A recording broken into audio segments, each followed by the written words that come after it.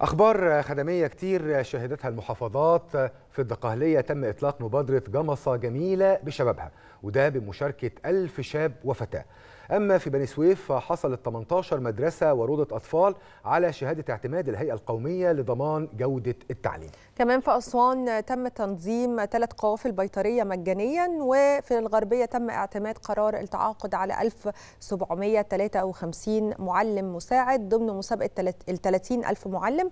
تفاصيل أكتر في سياق هذا التقرير.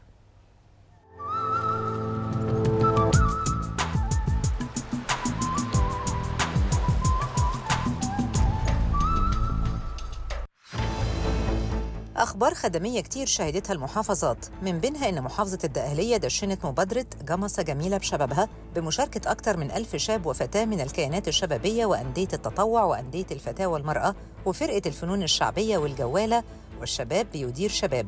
واللي بتهدف لتحسين الصورة البصرية ورفع المخلفات الصلبة من شوارع وميادين مدينة جمصة وزراعة الأشجار ودهان الأرصفة وتزيين أكشاك الكهرباء والاتصالات والغاز بالرسومات الفنية. ده بالإضافة لنشاط رياضي ترفيهي ومعرض المشغولات اليدوية. أعلنت محافظة بني سويف عن حصول 18 مدرسة وروضة أطفال على شهادة الاعتماد التربوي من الهيئة القومية لضمان جودة التعليم التابعة لرئاسة مجلس الوزراء. وده في مختلف مراحل التعليم من رياض الأطفال والابتدائي والإعدادي على مستوى إدارات التعليم بالمحافظة.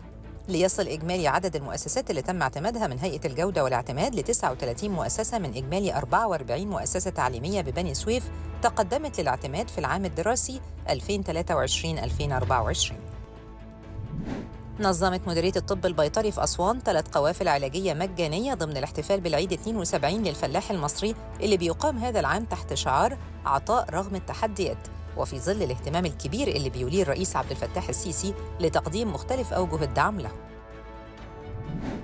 اعتمدت محافظة الغربية قرار التعاقد مع 1753 معلم مساعد لرياض الأطفال ومعلم مساعد للصفوف الأولى ضمن مسابقة ال 30 ألف معلم الدفعة الثانية وتظلمات الدفعة الأولى. افتتحت محافظة كفر الشيخ معرض أهل المدارس بشارع مصنع الغزل بمدينة كفر الشيخ لتوفير المستلزمات المدرسية والسلع الغذائية للطلاب وأسرهم بأسعار مخفضة تصل ل 30% وده بالتعاون مع الغرف التجارية بكفر الشيخ. بيستمر المعرض لمدة 30 يوم وبيضم 45 عارض للمستلزمات المدرسية بالإضافة لتسع عارضين للسلع الغذائية واللحوم.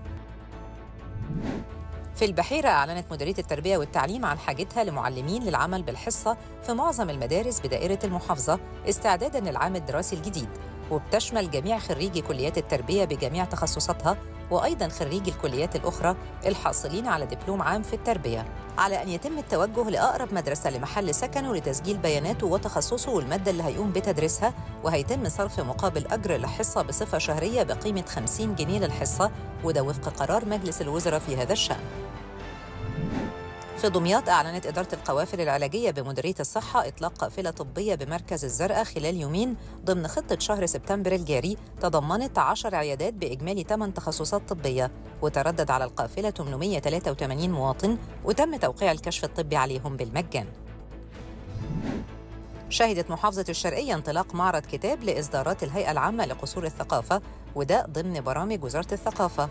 وأيضا في إطار الاحتفال بالعيد القومي للمحافظة. بيستمر المعرض حتى 13 سبتمبر الحالي داخل مقر قصر ثقافة الزقازيق.